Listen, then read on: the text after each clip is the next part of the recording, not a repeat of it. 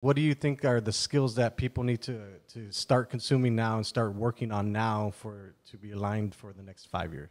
I think being technologically savvy for sure. Learning how to handle a an iPhone to begin with.